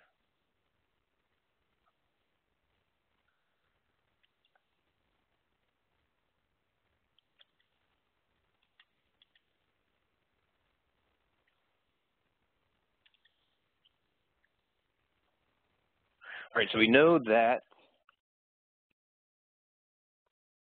we know that i equals zero. So what I'm doing is saying, hey, print out the truth value for i is not equal to zero. So I would expect this to be false. i is zero, and we're saying, hey, what is the evaluation on i is not equal to zero? So i is not not equal to zero, correct? So it should, I would expect false to be returned here. And yes, we got a false. We got a zero. Note that this gets a bit confusing. Uh, yeah, see, operators can make expressions difficult to understand only when appropriate. Yeah, use only when you need to.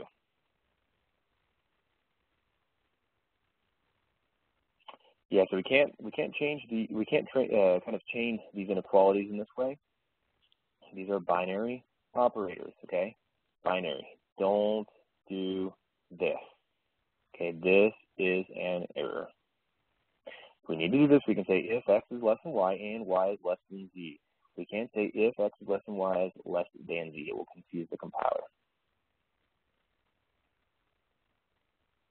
Remember, and I did this myself, this is the assignment operator and this is the equality operator. This is what we use to test whether two values are equal. This is what we use to assign a value to another variable. It is not a syntax error.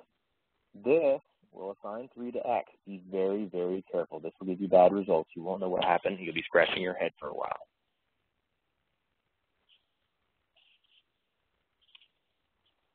Yes, so if we need to use multiple statements after our control structures, we must use brackets. Otherwise, the compiler, otherwise the first Actually, it will confuse the compiler. The compiler will tell you else without a matching if because it will only be looking for the first statement after the if to be executed. Then it will it will see the control structures having stopped. And therefore, it will find an else and say, hey, there was no if before this because uh, it thinks it's already exited the if control structure. I'm going to leave these as um, as exercises for you. Again, this is a very long lecture. There's 99 slides here, so we'll move along and we're nearing the end. So loops are when we want to execute code more than once in succession. It may sound strange, but these are very, very, very, very common constructs. We may want to iterate over an, a collection of elements. Uh, there could be any number of things we, we want to do with loops. There are a few types of loops. While, do while, for. So we'll start with the while here. While, then we have our Boolean. We have our Boolean expression here. So while this Boolean, each time this loop is executed, the compiler checks and sees whether the uh, whether the expression evaluates a true. If it does, it enters the loop and executes the code. Then it looks at the Boolean expression again. If the expression is true, it executes the code again ad infinitum. Now what it will do, it will only stop executing when this expression goes to false. So you see what they've done here. They have a variable named count down. They've initialized it to 3. They're saying, hey, while count down, as long as count down evaluates to a value greater than 0, go ahead and print hello. And then decrement, remember this is fancy for take the take one away from uh, from the, the value of, of countdown. So first we check it and it's three. We print out hello, now it's two. We check it and it's two, it's still greater than zero. We print out hello, take one away from it. So we printed out hello twice now. So now the value of countdown is one. We look and say, okay, countdown is still greater than 1. We print out hello again. We subtract 1 from countdown, so now countdown is 0. We come back here and check, uh oh countdown is not greater than 0. So we, we print out hello three times. I agree with this statement here. So we can code a quick uh, while example.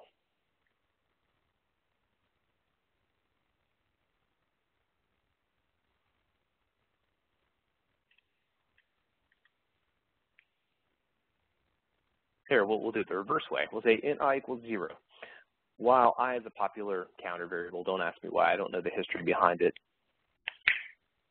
We'll say while i is less than or equal to 5. C out.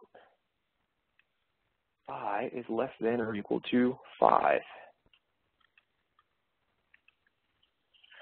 So then what I would expect, how many times should this loop execute? Oh, you know what? This is an infinite loop. I got to be careful here.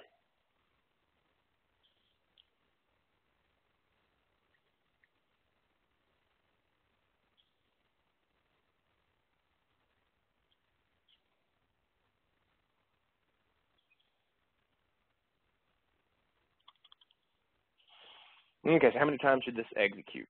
Uh, the plus plus is the increment operator. So this basically, here, I'll, I'll tell you what, well, stick with structures we already know.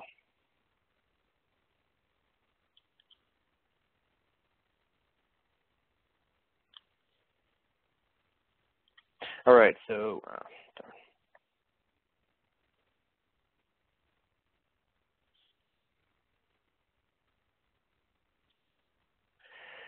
All right, so we we initialize i to zero.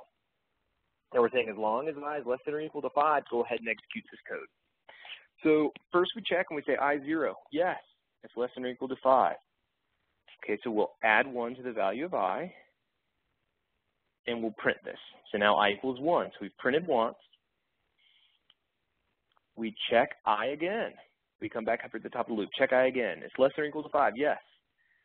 Now it equals two and we print out the message. Now we printed it twice. Okay, i is 2, so it's less than or equal to 5. We add 1 to it. Now it's 3. We print again. Now we print it 3 times. Check i again. We say, okay, it's uh, it's 3. Add 1 to it. Now it's 4. Print it out again. So now we printed it 4 times. i is 4.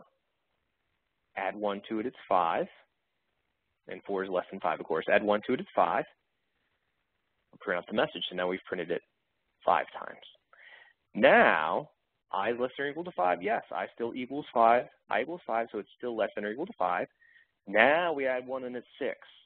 We print the message out the sixth time. We come back up here and say, oh, i no longer is less than or equal to 5. It equals 6. So I would expect to see six lines here. Let's make sure this is true. One, two, three, four, five, six, not six lines, six iterations. I didn't have a new line. So yeah. So this is an example of a while loop. Okay. Yeah, as I said, first you evaluate the Boolean expression. If false, it stops. That's it. Stops executing.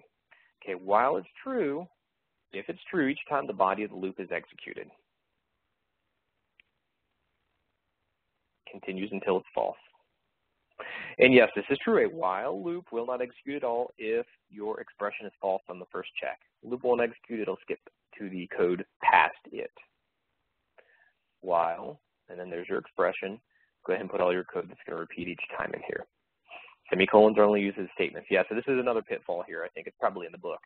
Uh, you don't do this. Don't put a semicolon at the end of the uh, at the end of the um, uh, at the end of the, the the last bracket there, it's not necessary.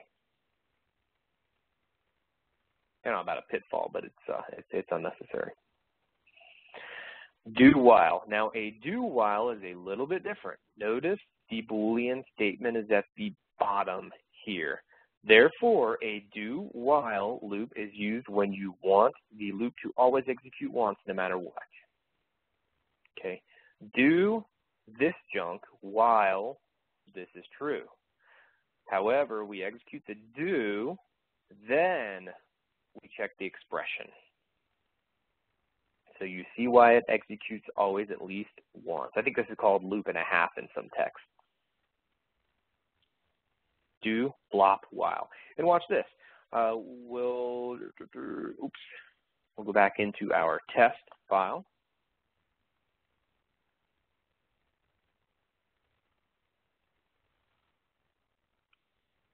Do?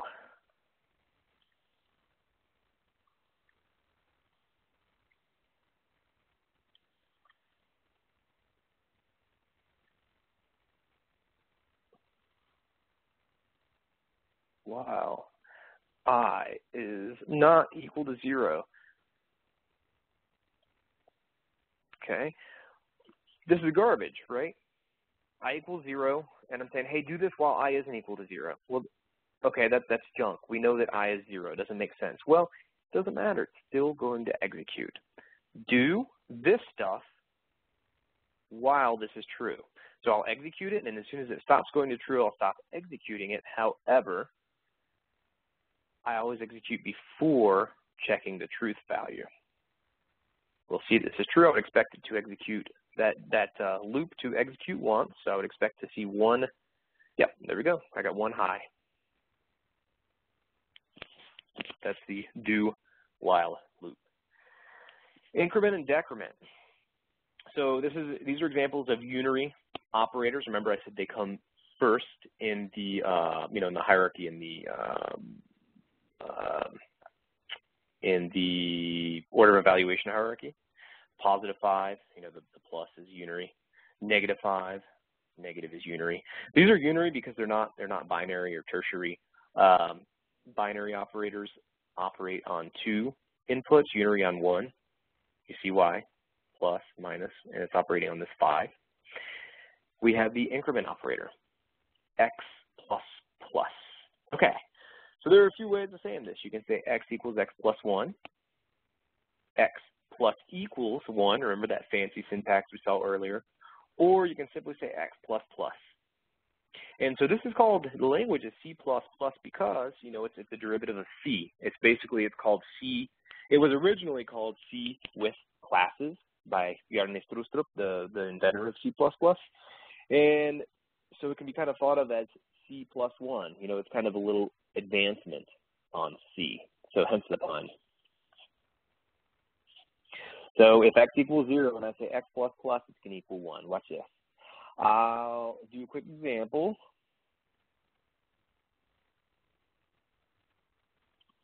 Uh, okay, int i equals 0. C out. You know what? Here. i equals, I'll just do some basic assignments. i plus 1. Then we'll go ahead and C out i. Then we'll say, we'll use our fancier syntax, i plus equals 1, C out i, create a new line for readability. Then we'll say i plus plus, C out i. Okay, so these are all kind of fancy ways of saying add 1 to i. Okay, so i equals 0. So first I would expect to see 1. Then, then since I incremented again, I would expect to see 2. Then since I incremented again using the, the shortcut, I would expect to see 3. So look at the way I'm doing it. i equals itself plus 1. Then I have this fancy i plus equals 1. Then I have my i plus plus, which is just my, my shortcut increment operator. So I expect to see 1, 2, 3 is what I'm expecting to see on the screen, right? Yep, bam.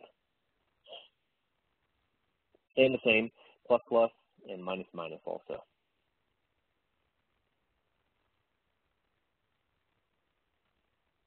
Aha. Uh, we are pretty much at the end here, so I'm going to go ahead and do this example. So let's say you have you have fifty dollars on your credit card. You're not making any payments on your credit card. Let's say our interest is two percent per month. So the question is, how many months without payments do you pass before your balance is over one hundred dollars? So now we're kind of in our in our think it out phase. So let's look at it this way. You know, we'll take compounding and all that crap out of the equation. We won't worry about, you know, compounding, anything like that. What we'll say is, all right, we got $50 on our card. Each month we add 2% to it.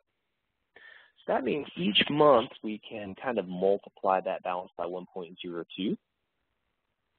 Okay, so now we're getting somewhere. Here's a good, good, good case for a loop while our balance is less than 100, go ahead and calculate the new balance for the next month, right? Because we'll calculate our balance with interest, and then we'll calculate the balance with interest on that balance the next month, right? So we'll keep incrementing and incrementing and incrementing so we can do this inside of a loop, and inside that loop, we can keep track of the number of months that have passed. That's what we'll do. Okay? Look at this, think it out, try to think it out for yourself. You can put me on pause if you want, and come back to me, and I'll be waiting. Okay, you ready?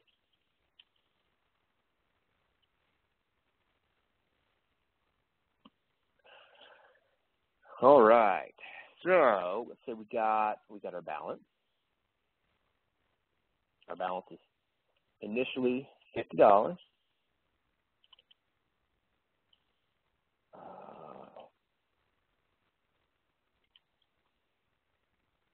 okay, our interest rate is two percent. We'll have an integer for the number of months that have passed. So now here comes our loop. While balance less than 100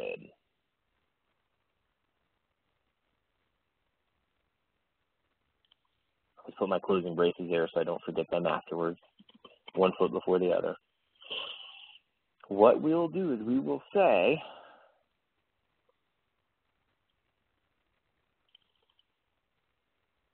I'll go ahead and go to the next month, right? We'll go ahead since we're in the next month. And we will say balance equals balance times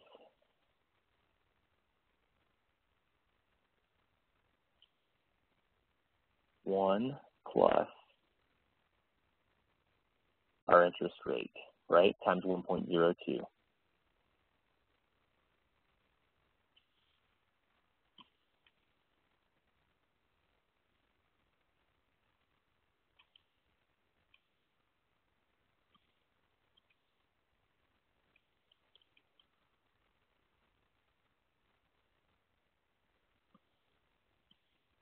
Okay, so I just thought this out really quickly here. Let me make sure this is correct. We got a balance. We got interest rate 0.02. Okay, we start out at month zero. So as long as our balance, oh, yeah, yeah, yeah, no, no, no. As long as our balance is less than 100, we'll go to the next month. We'll calculate the balance for the next month. We'll print these values out. And at the end here, on my last month, I want to know which, which month this was and what the balance was.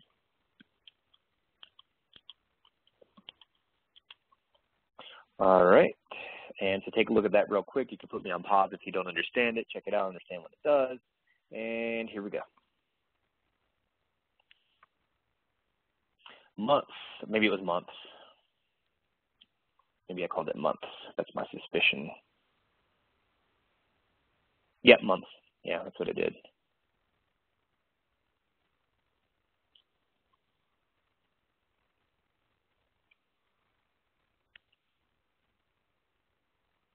Let's give it a whirl. Let's let it rip. There we go. So, aha, so at month 36, so it takes three years, right? My balance is almost 100 at month 35. Month 36, boom, I exceed 100. So make sure to pay those credit cards and don't only pay the minimum. Infinite loop. That's what I almost had earlier. Now, an infinite loop is a big pitfall. Uh, infinite loop will just kind of keep running and running and running and running and running. So, let me give you an example. And this is easy. I can make this happen real easy. Let's say I forgot to put this silly statement in. So all we're going to see is months blop balance is 50 continually, right? Do you see why? We never increment our balance. Therefore, our balance never exceeds $100. Our balance always stays $50. So this loop is forever true. Never exits. So here we go. Compile to make sure it's the latest uh, executable version. And, oh my goodness. Oh, what a headache, what a headache. This will happen to you a bunch. Don't worry about it. Just uh, know what an infinite loop is. All right. And conclusion, uh, at least of this section anyways, and then we're pretty much done. We only have programming style to talk about, and that's easy enough. um, yeah, this is going to be an exercise for you. Okay. Um, 10, so as long as x is greater than 0, x equals x minus 3. So it's going to be what? 10, 7, 4, and 1, and then it's going to stop executing. So do you see why? Look at it, understand it. And if you're using the comparison x is less than 0, well, x ain't less than 0, that's your clue. So that's a clue for this second question here. Let's go ahead and, and look at those. Okay, so yes, we need our programs to be readable. If you come back to your own code a few months or a few years later, you aren't going to know what you did. You aren't going to remember, believe it or not, as cognizant as you are at that time, it's going to look like a stranger's work, trust me. And yes, we need it to be maintainable. Okay, we want our code to be readable, self-documenting, and maintainable. So we group like items together as much as possible. Notice here we want to separate non-like portions or groupings. We always indent statements within statements. So with control structures, we always indent. Always, always, always. If you use NetBeans and some other IDEs, uh, they will indent for you. If not, you need to do it yourself. Okay, like you see, I've been using the Vim editor. It does not auto-indent for me. Uh, I think there may be a setting to do that. I don't remember off the top of my head. I'd have to look at the manual. Braces create groups. So, um, notice here braces placed on separate lines are easier to locate. I'm a fan of code brevity, so I don't always use the brace on a separate line for the opening brace. However, that's encouraged. Uh, and yes, we indent within the braces. We want all of our code to be on the, the same um, width in from the left margin. Comments. So that's a comment. You remember I commented out the code earlier. Let me see if it's still there. I think it is. Yep. So I commented out the code you know, and it's called a comment because it's most common to use it to write comments. This is a program that does blah, blah, blah. So those are mostly meant as comments to yourself or other programmers. Okay, so we can have single line comments that start with two slashes, or we can have multi-line comments slash asterisk that are terminated by asterisk slash. This is a multi-line comment. The compiler ignores those. It will not give you any syntax or warning errors on comments.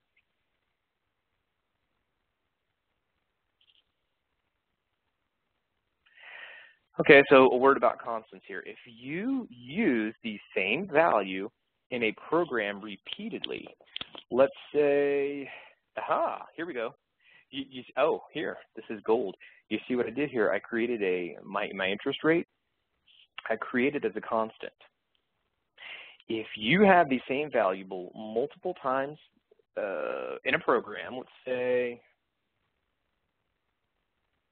that I did something like, oh,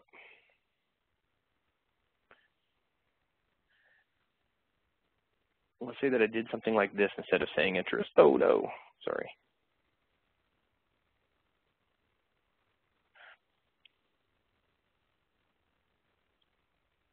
And let's say that I use this interest rate multiple times in this file. Well, guess what? If the bank changes policy, let's say I work for a bank and this is our, our bank code. If the bank changes policy and says, oh no, our interest rates are now 0.03, well, I got to go back through this file and I got to look for all occurrences of 0.02, and I got to change in all to 0.03.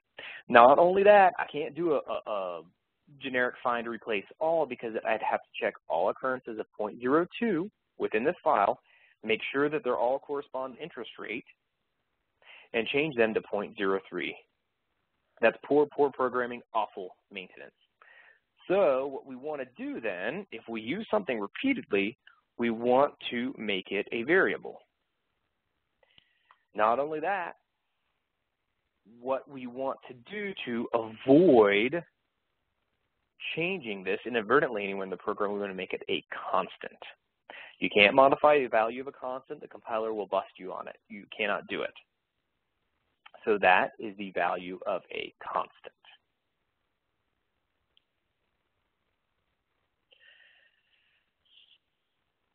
Allows to name number constants if they have meanings, and you can change all occurrences. Where I can change this here, let me clarify this. Where I can change this is up here at the top. If it's a constant, I can say, oh, darn, darn, darn. I can, just like that. And that'll change interest everywhere in my program in one fell swoop.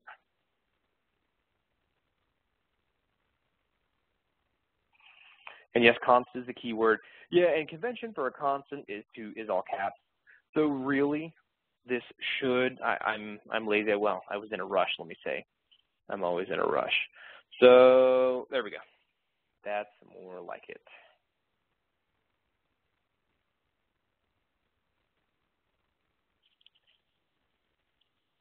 And yes, you can do this. We just did this, so I leave this as an exercise to you. So this is kind of chapter two in a nutshell. It may seem like a lot of information, but if you do some of the exercises, really it becomes second nature. Uh, so it's pretty easy stuff. There are just a few little gotchas, and that's that's about it. But this is the uh, kind of the meat and potatoes of everything that you're going to be doing here. So if you have any questions, just ask. Uh, you know, you can always do the examples from the book. You can do extra examples if you like. Uh, ask me any questions that you need. And uh, okay, great. See you. See you next time.